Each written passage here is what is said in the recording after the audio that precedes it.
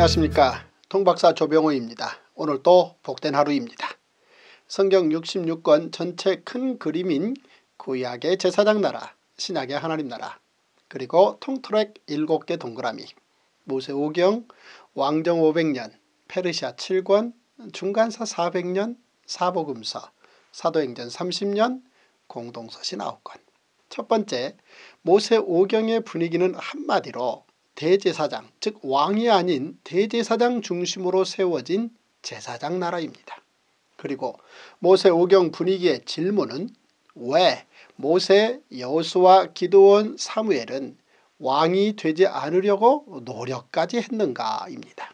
대답은 왜냐하면 제사장 나라의 거룩한 시민이 되고 싶어서입니다. 오늘은 기도원 사무엘 이야기를 살펴보겠습니다.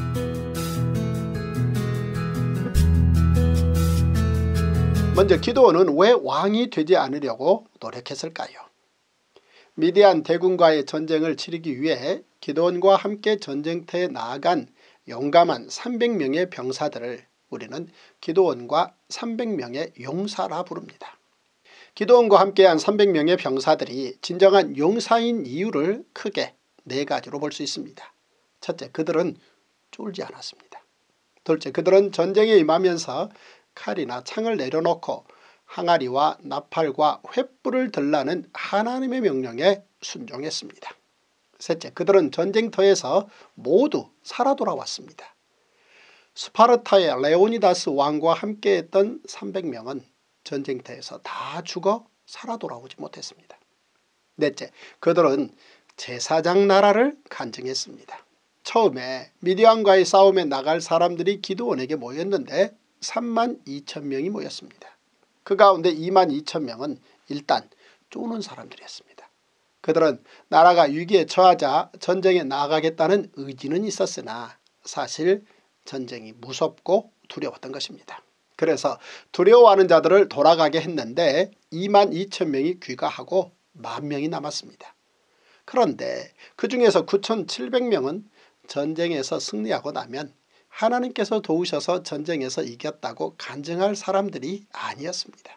그래서 하나님께서는 9,700명도 귀가시키셨습니다.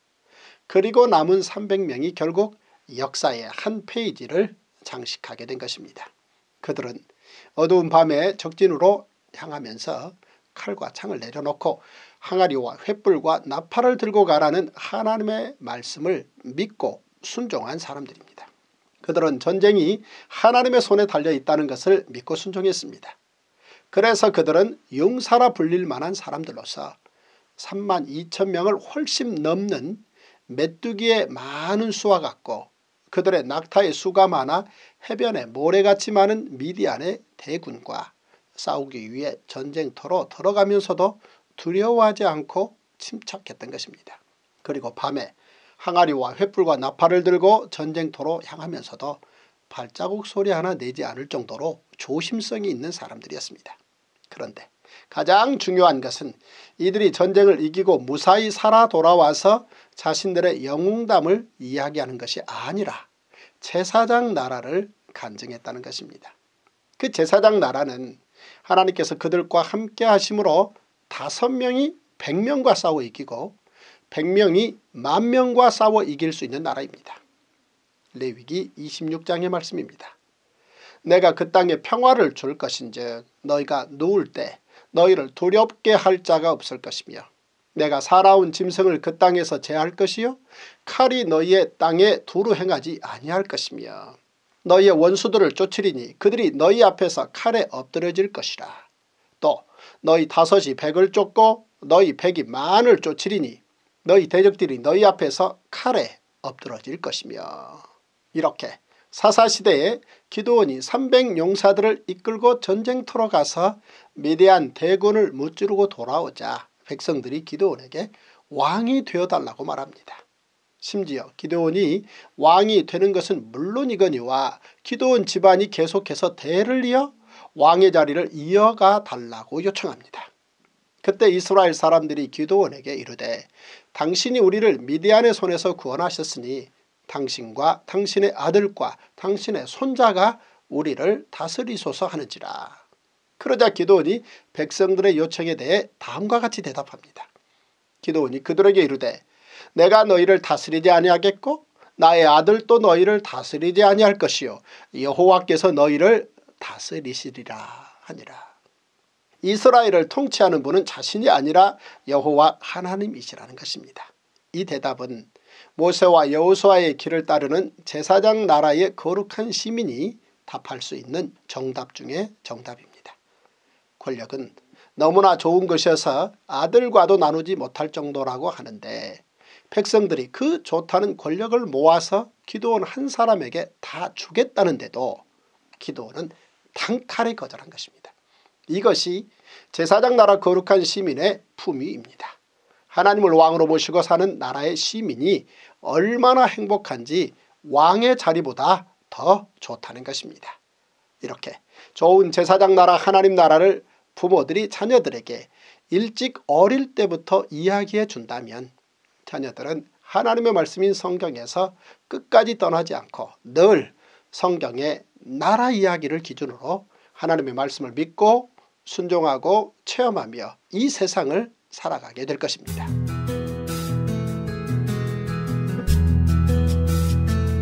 자 이제 모세 오경의 질문에 나오는 모세 여우수와 기도원을 살펴보았고요. 마지막으로 사무엘은 왜 왕이 되지 않으려고 노력했는지 살펴보겠습니다.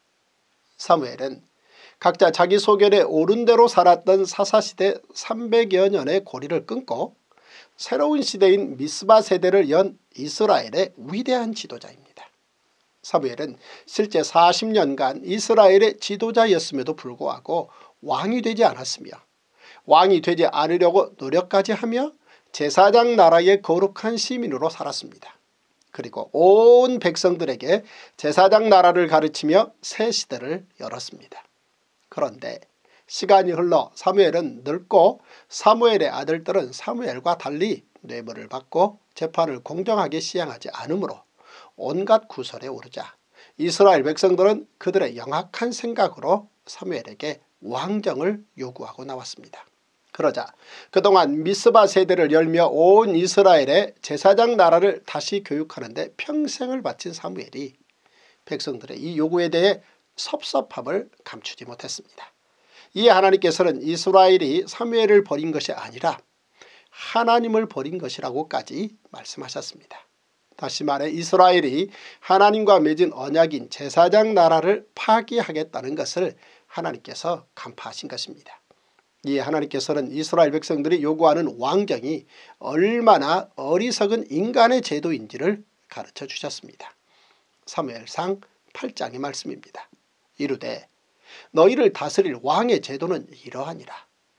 그가 너희 아들들을 데려다가 그의 병거와 말을 어거하게 하리니 그들이 그 병거 앞에서 달릴 것이며 그가 또 너희의 아들들을 천부장과 오십부장을 삼을 것이며 자기 밭을 갈게 하고 자기 추수를 하게 할 것이며 자기 무기와 병거의 장비도 만들게 할 것이며 그가 또 너희의 딸들을 데려다가 향료 만드는 자와 요리하는 자와 떡 굽는 자로 삼을 것이며 그가 또 너희의 밭과 포도원과 감남원에서 제일 좋은 것을 가져다가 자기의 신하들에게 줄 것이며 그가 또 너희의 곡식과 포도원 소산의 11조를 거두어 자기의 관리와 신하에게 줄 것이며 그가 또 너희의 노비와 가장 아름다운 소년과 나귀들을 끌어다가 자기 일을 시킬 것이며 너희의 양떼의 10분의 1을 거두어 가리니 너희가 그의 종이 될 것이라.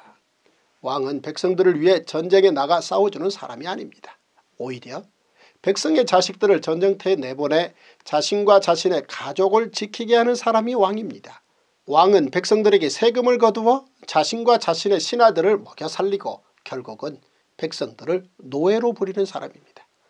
세상의 모든 사람들은 누구나 다 하나님의 형상을 닮은 소중한 존재들인데 누군가 한 사람을 왕으로 세워놓으면 누구는 귀한 사람이 되고 누구는 천한 사람이 되는 불평등한 세상이 되는 것입니다. 하나님께서는 아브라함의 후손들을 통해 세상 나라들이 시행하는 왕정이 아닌 제사장 나라를 세우고 세상 모든 민족을 사랑하고자 하셨습니다.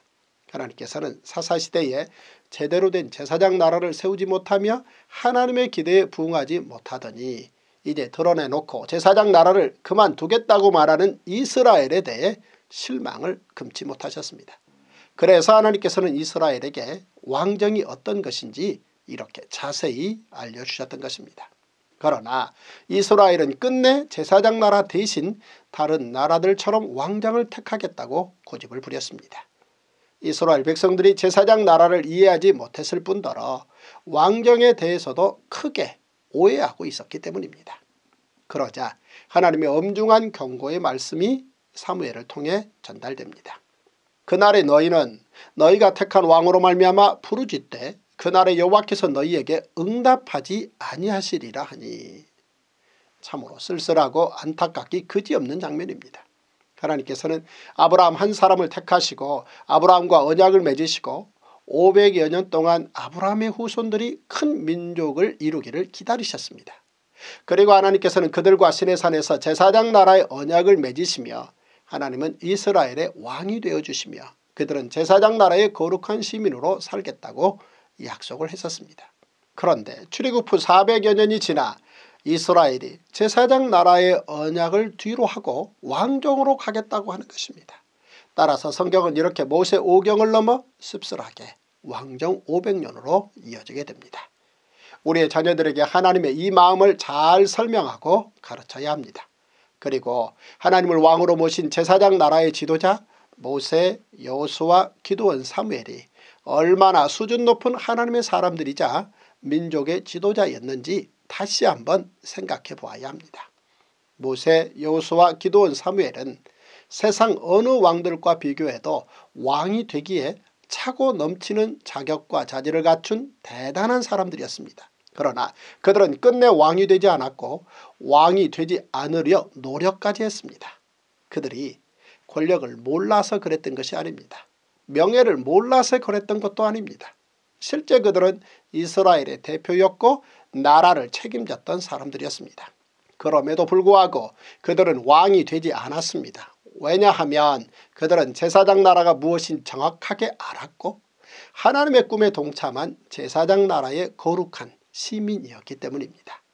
우리와 우리 자녀들이 모세 여호수와 기도원 사무엘과 같은 하나님의 사람 하나님 나라의 거룩한 시민으로 살기를 소망합니다.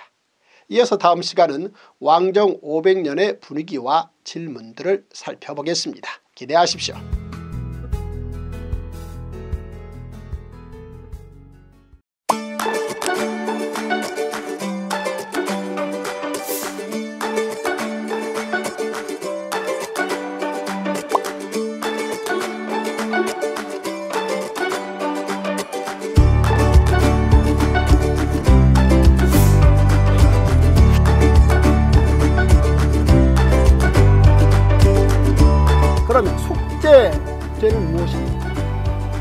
그 다음 용서를 받고 그 다음에 회복이 되는 이런 놀라운 제사가 바로 이 속죄제입니다.